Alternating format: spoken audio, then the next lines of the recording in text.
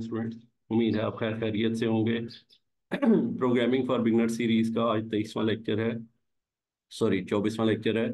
इससे पहले तेईस लेक्चर जो हैं वो गुजर चुके हैं, जिनमें से ज़्यादातर लेक्चर्स जो हैं उनमें कॉन्सेप्ट डिलीवर हुए हैं, जबकि कुछ लेक्चर्स में हमने सोल्यूशन भी डिस्कस किए हैं। तो आज का लेक्चर भी जो है वो सोल्यूशन से रिलेटेड है। और इसको करने की बार बार मैं वजह वजह भी बता रहा हूँ आपको कि ये है कि आप जो है वो हमारे साथ साथ आगे चल सकें। आगे जैसे जैसे मैं प्रोसीड कर रहा हूँ प्रॉब्लम्स जो हैं वो कॉम्प्लेक्स होती जा रही हैं। तो अगर आप पिछली प्रॉब्लम्स को छोड़ते हुए आगे जाएँगे तो फिर फ़ायदा कोई नहीं होगा।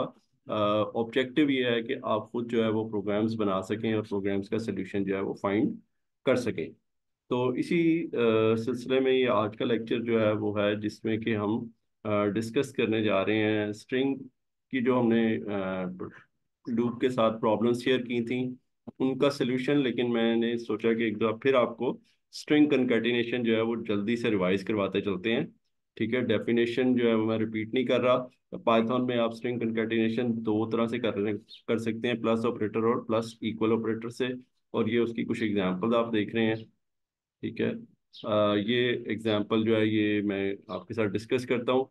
आर हमने एक एम्प्टी स्ट्रिंग ली है पहली लाइन में और फिर लूप के अंदर हम ये लिख रहे हैं R equal to R plus star तो ये जो है वो जितनी दफ़ा लूप चल रहा है उसके अंदर स्टार कंकेटिनेट होता जा रहा है और इसकी ये वर्किंग भी आपके सामने मैं शेयर करने लगा हूँ कि आर एक एम्प्टी स्ट्रिंग थी, उसमें एक स्टार कंकेटिनेट हुआ तो वो एम्प्टी स्ट्रिंग जो है वो कन्वर्ट हो गई स्टार में। अगली दफ़ा जब आई टू होगा तो फिर ये स्टार दूसरे स्टार के साथ मिलके कंकेटिनेट होगा और एक नई स्ट्रिंग बनेगी जिसमें दो स्टार होंगे।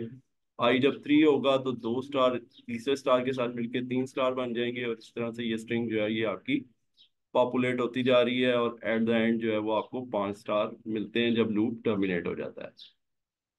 ये एक और वर्किंग है जिसमें हमने स्टार्स को अंदर डाल लिया है लूप प्रिंटिंग को जो है लूप के अंदर डाल दिया है और star equal to star plus जो है वो कंकेटिनेट करते जा रहे हैं साथ साथ प्रिंट भी करते जा रहे हैं, ठीक है? तो ये भी उसी तरह से वर्किंग है। इसमें फ़र्क सिर्फ़ ये है कि आप साथ साथ जो है वो स्टार्स को प्रिंट भी कर रहे हैं तो फिर वो एक पैटर्न जो है वो आपके सामने प्रिंट हो रहा है। अच्छा इसी तरह स्ट्रिंग के साथ स्टैरिक का ऑपरेटर भी काम करता है।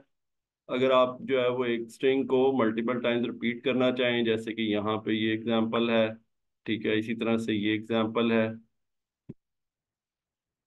कि रिपीटेड स्ट्रिंग क्या है? Hello string multi original string multiply by three तो ओरिजिनल स्ट्रिंग में हेलो पड़ा हुआ था तो हेलो तीन दफ़ा आ गया हेलो हेलो हेलो तो इस तरह से आप मल्टीपल टाइम्स जो है वो स्ट्रिंग को रिपीट कर सकते हैं। ये प्रॉब्लम आपके साथ हैकर रैंक का कॉन्टेस्ट था लूप स्ट्रिंग कंकेटिनेशन का जिसके अंदर जो है वो ये पाँच प्रॉब्लम्स थे।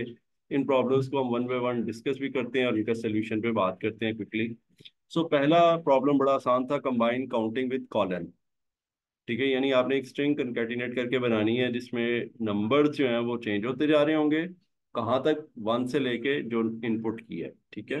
सो so, बिल्कुल उसी तरह आपने सोल्यूशन में इनपुट ले ली एक एम्प्टी स्ट्रिंग ले ली आई को वन से इनिशलाइज कर दिया इसके बाद आपका लूप आ जाएगा while I is less than equal N और इसके अंदर आप क्या करेंगे? स्ट्रिंग को कंकेटिनेट करेंगे ठीक है?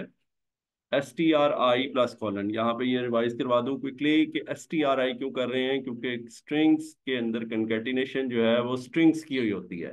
तो अगर नंबर है आपके पास तो आप उसको स्ट्रिंग में कन्वर्ट कर सकते हैं। एस टी आर के फ़ंक्शन यूज़ करके तो ये स्ट्रिंग हमने कंकेटिनेट की और I equal to I plus one that's it ये जो है लूप रिपीट होता जाएगा और स्ट्रिंग आपकी जो है वो कंकेटिनेट होती जाएगी। पहले एम्प्टी होगी, फिर उसके अंदर वन और कॉलन आ जाएगा, फिर टू और कॉलन फिर थ्री और कॉलन फिर फोर और कॉलन फिर फाइव और कॉलन आखिर में जब हम लूप से बाहर आगे प्रिंट करेंगे तो ये आउटपुट आ जाएगी। टास्क टू था, increase arrow side read an integer and increase arrow size from one to integer, you have to start from the one size इसमें जो इम्पोर्टेंट बात है वो ये है कि आपने जो एरो हेड है उसको कंकेटिनेट में बार बार नहीं लाना, क्योंकि वरना एरो हेड भी रिपीट होते जाएँगे। तो एरो हेड को अलग रखें प्रिंट कराते हुए एरो हेड को ऐड कर देंगे। बाकी जो आपने कंकेटिनेशन में वो जो है हाइफन या डैश जो है, उनको आपने कंकेटिनेट करवाना है। ठीक है? तो स्टार्ट करते हैं। ये भी उसी तरह है। Input Lee I equal to one empty string ली और एम्प्टी स्ट्रिंग लेने के बाद लूप में आए। लूप के अंदर आके आपने इसके अंदर हाइफन या डैश जो है उसको कंकेटिनेट किया। और प्रिंट करवाते हुए रेज जो स्ट्रिंग है प्लस एरो हेड कंकेटिनेट करवा दिया। तो ये फ़र्क जो है? ये समझने की कोशिश करें कि एरो हेड जो है वो स्ट्रिंग का पार्ट का बनता है? जब प्रिंटिंग होती है।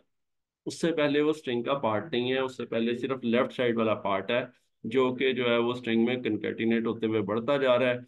और जब भी प्रिंट की स्टेटमेंट आती है तो जितना भी आपका लेफ़्ट पार्ट होता है, वो एरो हेड के साथ मिलता है और प्रिंटिंग हो जाती है।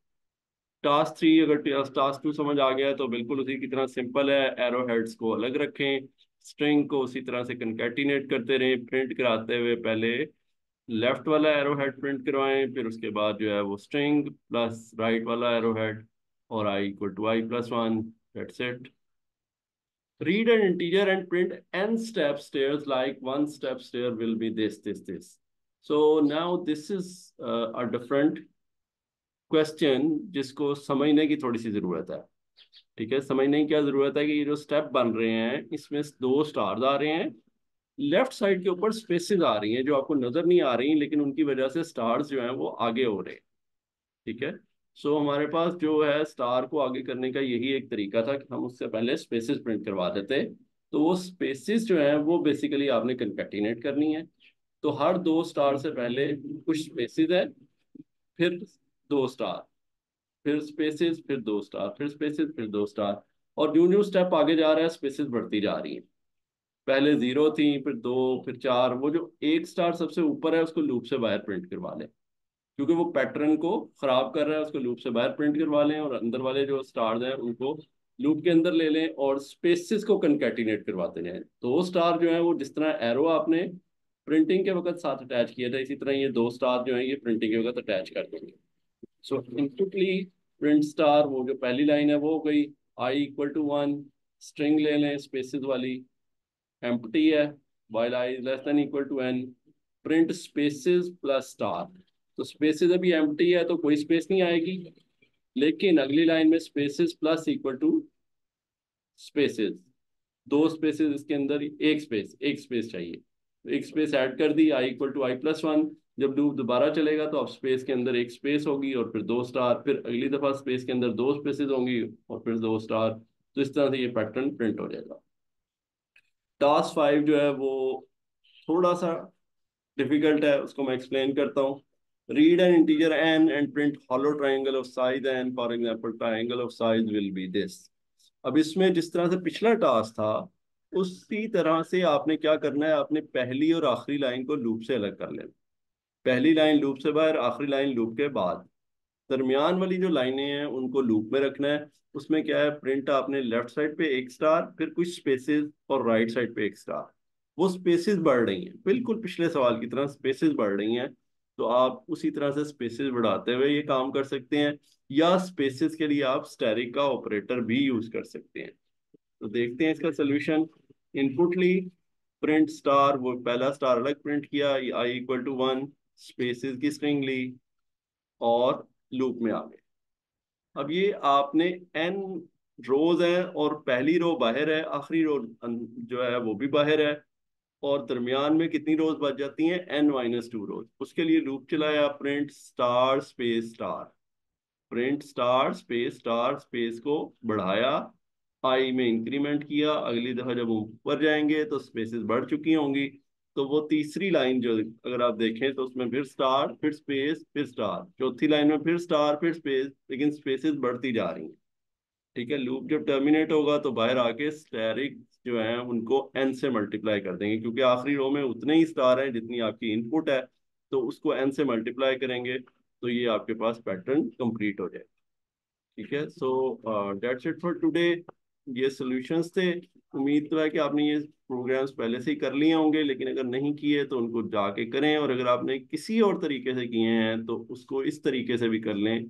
ठीक है ये आ, मेरा बताया हुआ तरीका है। ठीक है मैं प्रेफर करूँगा कि आप इसके साथ चलें। ये आने वाले प्रॉब्लम्स में आपको हेल्प आउट करेगा। अगर कोई और तरीके से आपने किया है तो वो गलत नहीं है। वो गलत नहीं है लेकिन हो सकता है वो बेहतर अप्रोच ना हो। ठीक है? हो भी सकता है कि वो मेरे से भी अच्छी अप्रोच हो, लेकिन वो फिर डिस्कस करने वाली बात है। ठीक है? उसके लिए मैंने पहले भी कहा कि कोई वे आउट करेंगे, फ़िलहाल हमारे पास जो है वो डिस्कशन का फोरम नहीं है। तो आपका जो सोल्यूशन है, वो भी ठीक है, लेकिन जो मेरा सोल्यूशन है, मैं प्रेफर करूँगा कि आप उससे भी करें। ठीक है? तो इंशाल्लाह मिलते हैं अगले लेक्चर में। तब तक के लिए अल्लाह हाफिज़।